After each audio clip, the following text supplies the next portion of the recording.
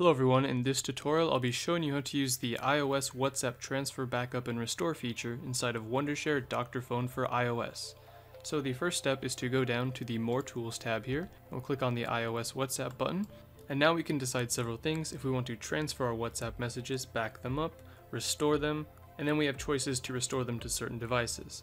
In my case, I'm just going to click on backup because I'm looking to back them up, and then I'm going to plug in my device so I can find them. Your iOS device will then connect with your computer, and now it says it's connected, so all I have to do to back it up is click on this backup button, and now it will back up all of my WhatsApp messages. And of course you can go in and transfer these messages as well, or you can put them on certain devices. That is it for the basics of iOS WhatsApp backup transfer and restoration. I hope you guys enjoyed this tutorial and we will see you next time.